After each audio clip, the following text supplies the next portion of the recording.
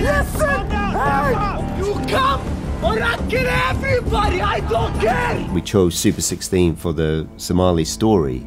So that meant the part of the story, leaving the village, going out to sea, traveling across the water on, the skiffs.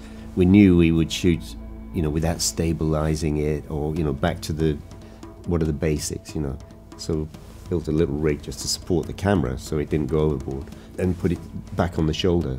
And the Super 16 with the 12 to 1 zoom gives me what I described before is like I've got the whole view here, but I can I can either pick out someone 12 feet away and get a close up, and I could also show the ship catching up on a container ship on the end of a zoom because that's what your brain does. That was the perfect way to, for me to do that kind of shooting, you know.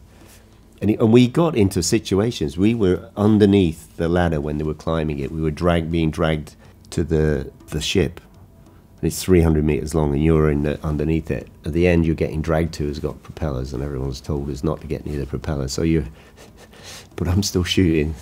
Ollie, my focus puller, is going like, "Fuck, we're gonna die, we're gonna die." and I'm going like, keep shooting, keep shooting. and then they cut that piece out of the film. They, they used the beginning of it and they used the end of it because we got spat out at the other end, and but kept shooting again. Basically, they used it as two angles. They start to catch them climbing up onto the ladder. They start climbing, I'm still shooting it under here, but then we pull that here, then they cut that bit out, and it looks like two angles on the same moment. That's just before getting onto the bridge. That's the Somalis climbing the ladder. They've been hosed down, and we'd been hosed down in the boat. We've got like spinners, we've got rain deflectors over the cameras, and we're bagged up, and we're all in plastic bags. and their hose piping is down, you know, and and then there's this moment where they have to make the leap onto the boat. First scenes we did with him, walking onto the bridge, we climbed some stairs with him, you know, camera behind, a kind of classic Paul Greengrass pushing, pulling, pushing kind of scene. Boom, burst that into the bridge, you know, big stop pull. So that's what this hand's doing controlling the zoom so he got the right frame, searching the room as if you've just walked in. And the idea was we knew he would go off to the right and he would go and get a coffee and then he would go, walk round to the guys and say his first lines about, so what's on the itinerary for this ship? You know, like, you know I follow. He goes to get coffee, but I'm on a kind of mid, mid shot on him. So the obvious thing is when someone, if I lean down like this, the camera wants to go down and see what I'm doing, you know. And then later on, he thought because he closed doors behind him, but and walked off and and gone far enough away, and we were still trapped inside the bridge because he closed the door, you know.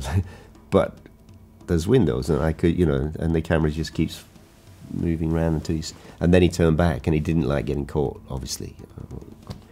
Like so, he goes, "Okay, I get it now. I'm going to walk. I'm going to keep walking." and at the end of it, he said, "You know, it's it's like." it, was just another way of, of making films for him that he'd never had before, you know. So I'd like to think that Tom gave one of his very best acting performances in that film. We are under pirate attack. You're gonna shoot somebody. You shoot me. Where is the crew, Irish? I, you said this was just business. Is this business? Is this how you do business? I, I got to admit, I was a little nervous when, when Paul said we got Tom Hanks. Does the Hollywood thing kick in? Does he want special lighting? Does he want special time given to him? even though, you know, just to make him feel special. But he got it very quickly. He looked at, he looked at the Somali guys. There was a scene we shot with them with that beautiful skin, that black skin that's shiny and oiled, you know, the spray, everybody sprayed each other down before each take, you know. So they're in the lifeboat, it's orange lifeboat, beautiful faces. And then you got Tom Hanks. They wouldn't go and look at playback or anything like that. He just kind of glanced across and he went, whoa. I'm going to have to up my game here. You know, really respect Tom for that because he realized that people who were not necessarily actors could give so much to him that he would have to, like as an actor, start giving more back to them as well, you know. And that's where I think, you know, this perfect storm of energy started to build, you know. Hey! Look at me. Sure. Look at me. Sure. I'm the captain now. What do you do? Look at me, Irish. Listen, hey, you come or I kill everybody. I don't care. It's your choice. All the ship material was done at sea, eh, either in the Mediterranean or in the Atlantic. Three main ships for a couple of days. We had a helicopter flying and we had to have spotlights. I'm often saying to the director, wouldn't it be great if they had two spotlights on the front? Then we could, you know, and they go, yeah, but they don't.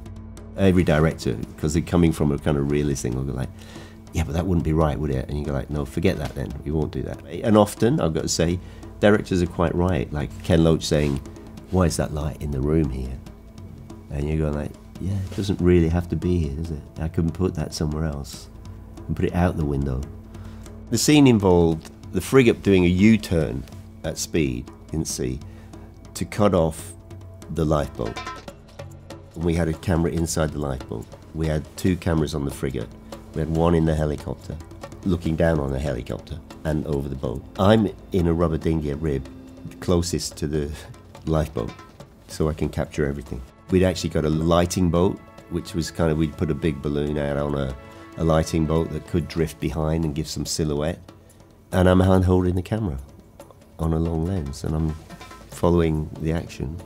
And we did it twice, once just before it got too dark and then once just on the blink. And I'm trying to go like, we've got to get this all to happen at 7.15. Before 7 o'clock, it's too bright. At 7.30, it's too dark. We've got to, and Chris Carreras is organising three Navy ships, a lifeboat, support vessels, two helicopters, and he's as cool as a cucumber. And I'm going, come on, come on, let's get it. And other people are filming, helicopters taking off. That was all happening on the same moment for half an hour. From that is the sequence. We generated that wave by by doing what they did. They did a kind of handbrake turn in a Navy frigate, which caused a wave. We had to go through that as well. You know, you're being tossed around. This thing, even when it's hand holding, you've got to put yourself in the right place.